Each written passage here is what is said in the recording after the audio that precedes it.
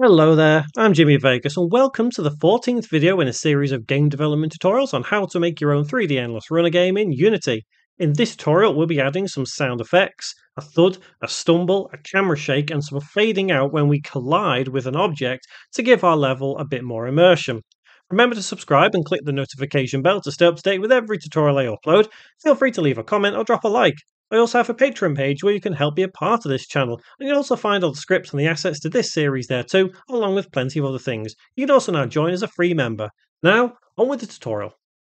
So, so far, we have the ability to hit an object, stop running, and stumble backwards. That's great, but let's add a bit more immersion to this game. The idea of what I want to try and achieve by the end of this tutorial is Timmy running into something, we hear a thud, and then we hear the stumble backwards sound, you know, fall into the floor. As long, uh, you know, as long as we have a camera shake when we hit the actual object as well to give it that oomph kind of feel, and then a fade out into black, which will, you know, eventually show us our results and take us back to the main menu. So going to the canvas all we have so far are two little things, which are the coin back and the coin count. Let's first add in fade screen so we can kind of fade from all of our game into black. And that's really easy to achieve. If we go to game object and go to UI and then go to raw image, uh, we can then take this raw image and name it as fade out. Next thing, we need to set the position uh, as stretched. So set your anchor position right here, stretch it across the screen, and then set the left as zero, top as zero, right as zero, bottom as zero. And what that will do is it will stretch it across the entire screen. Hence, that's why it is completely white right now. What that means is that we then have to change the color to black, so we can change it right there. And finally, the idea of making a fading screen all revolves around the alpha, which is this down here. It's currently set as 255, which means it is completely opaque. Zero means it is completely transparent, and anything in between is translucent. You can hold your mouse button down, and you should be able to see it just here, how see-through it can be. We need to set it as zero. So how do we make this fade to black? Well, it's really, really easy. We need to use some animation. Uh, we've not used animation per se in this series yet, although we do have the coins animating via script. We need to do animation a little differently in this tutorial. So firstly, let's make sure we're in our assets folder here. Let's right click and create a new folder. We'll call this animations. And in this animations folder, we need to make sure that we do are, we are, are actually in there. Otherwise, your animation file can end up somewhere it shouldn't. Next, we need to click on fade out. And down here, we need to click on animation. And here, make sure uh, you do have add tab and animation just there if you do indeed need it. As I said, we dealt with a little bit of animation before, like controlling it and rotating coins here. Um, so if you remember when we did with Timmy, when he hits, we, he changes animation. But here we're actually creating the animation.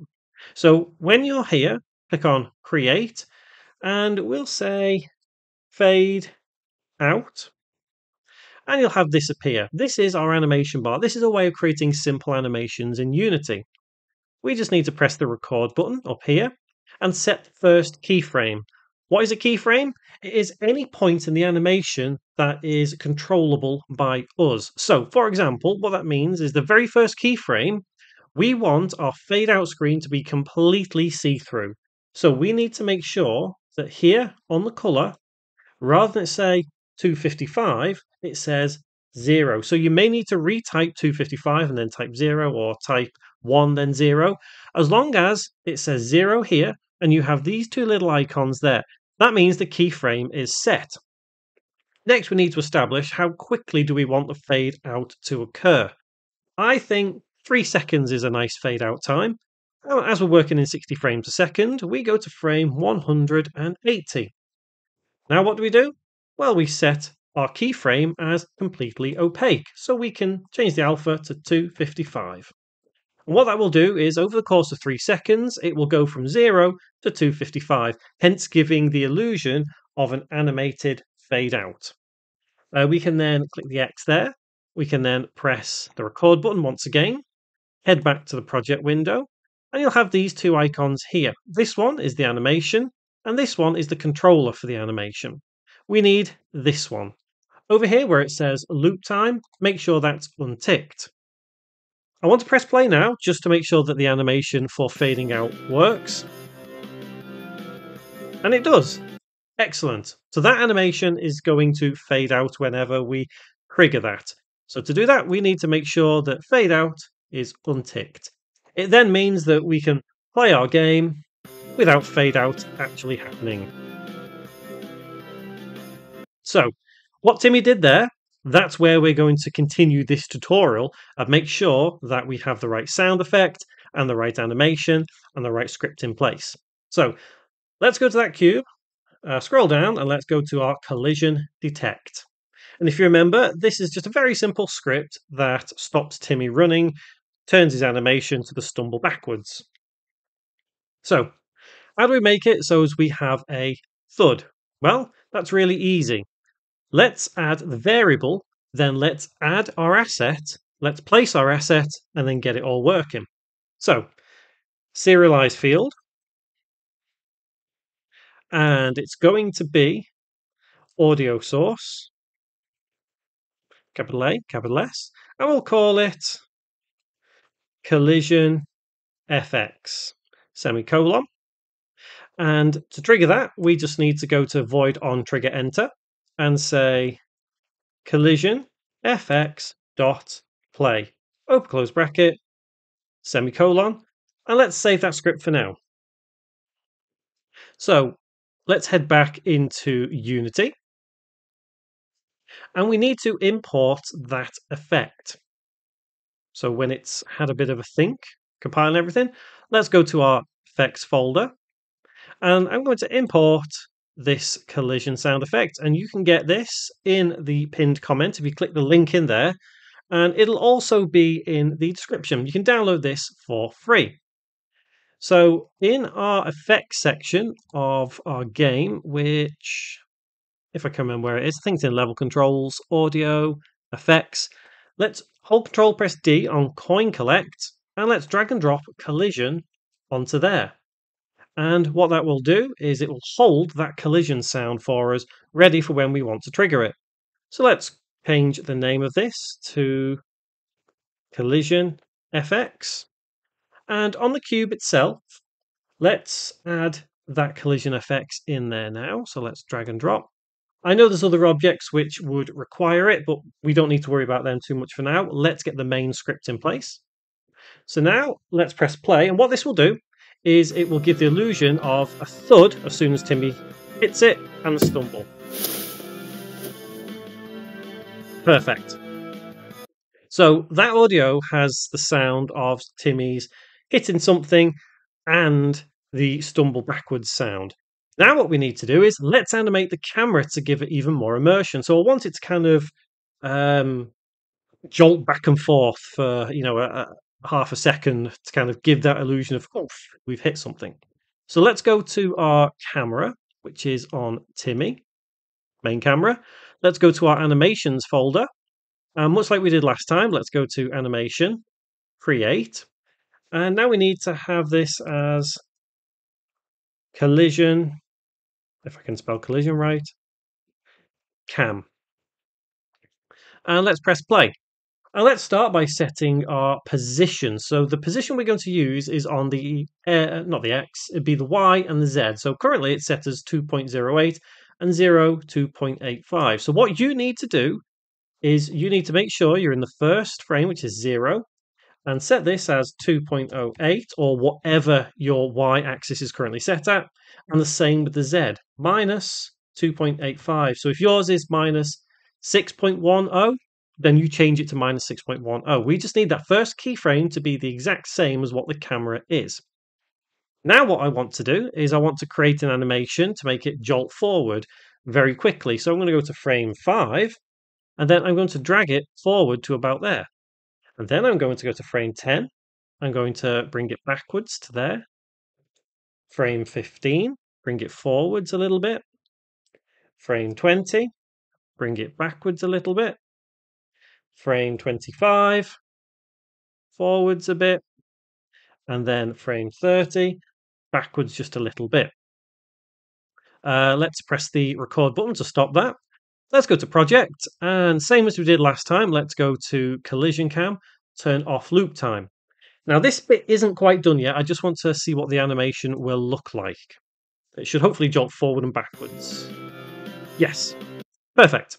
So we now need to trigger that animation only when Timmy collides with something. And that means going to the main camera and going to animator. So if you did we I can't remember if we did this last time. Um, but essentially what we need to do is we need to prevent the actual collision cam animation occurring all the time. And what we need to do is just right click or go to create state empty and right click on new state and set as default. And I, th- I think generally you can uh, double click like on these as well and it will take you to the animator. So if you do need to, if you've lost your animator tab, you can just click on the controller and it will take you to it. Uh, so by default, new state is the current animation and it will remain the current animation. And that's fine. Absolutely fine. Perfect. So, how do we get this all to trigger together to make it all make sense? Well, that can all be done in that script that we were in before. So let's go to the collision detect script. And now let's add in uh, the main camera. So serialize field.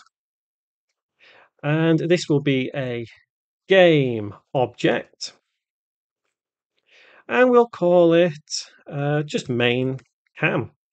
Next thing we need to do is add in the fade out screen. So serialize field and game object, and we'll call it fade out. Now, to get this all working together, we are going to now need to create something known, uh, it's not a method as we've done with void on trigger enter, we actually need to use a coroutine. Um, the reason why we have to use a coroutine is because we're now going to use some timing to actually change what happens in our scene. Uh, that cannot be done inside a method, it has to be a coroutine. So let's start by creating our coroutine. And we'll say I enumerator, uh, we'll call it collision end. Open close bracket, open curly bracket. Now it will underline red as you start. The reason being is because we don't have any timing inside this coroutine, and timing has to be inside, otherwise it's not going to work properly. What we are going to do is we're going to take everything we've written inside void on trigger enter. We're going to cut it out of there and place it in the collision end. Next, what we need to do is we need to say main cam dot get component and in spiky brackets animator open close bracket dot play and in brackets and quotes the name of the animation that we created for that camera. So that'll be collision cam, and then semicolon. And then underneath, we now need to wait for a couple of seconds before we decide that we're going to display our fade out. So we can say yield, return new, wait for seconds, and I'm going to say, let's say three seconds, and then we'll see how the timing works on that. And as you type that, you'll see that the collision end section disappears, which is good. So the next thing we need to do is add the fade out screen to occur. So fade out dot set active and in brackets true. And the final thing we need to do is to make sure that all of this triggers together. So in the void on trigger enter, where we removed our lines of code, we need to add in just one line of code, and that is start coroutine, and in brackets, the name of the coroutine that we've just written here, which is collision end open close bracket, close bracket, semicolon, and save. And if you have problems with this script, I will also upload this, uh, and you can download it for free along with the um, sound effect that we imported earlier. So next thing we need to do is head back into Unity and make sure that it should work as intended. So we'll need to add some more variables just here. So the main camera is on there. And then fade out, we just need to add to there. So this should hopefully work. Um, when it does, we'll then add this to the rest of any object that has a collider on it. So ready? We should... And it should fade out. Perfect. Excellent. So I'm happy with how that's now coming together. We've got that immersion in place. You could fade out faster, you could do it sooner. It's entirely up to you. Uh, you will notice around the edge that we do you can still see the game through. That is just a feature, a feature of inside the engine. When we build the game itself, that will not actually happen. You'll find a lot of things like that occur inside the engine, but not when the game's actually built itself. So realistically, we now need to uh, add that to some other game objects, i.e., you know, everything we can possibly collide with. Uh, I'm going to add it just to these two for now so we can see that it works on different objects, but I'm not going to apply it to everything just yet. I'll leave you to kind of work that on your own. There's no point me wasting your time. Uh, but all that essentially means is that um, you can select all the game objects that require the extra variables. Like I've got two selected here. You know, we did it last time, and I can just drag and drop the collision onto there, fade out onto there, and the main camera, if I can find it. Where's it gone? There it is, onto there. So now, one more test. We should be able to crash into, let's do the rock, and we should have the same effect happen. Perfect. And it, it started fading out there as I stopped the gameplay. So next tutorial, what we're going to do is I think we're going to create a kind of a main menu hub so we can start looping this around. So you can do your run and when you hit something you come back to the main menu and then you can start again.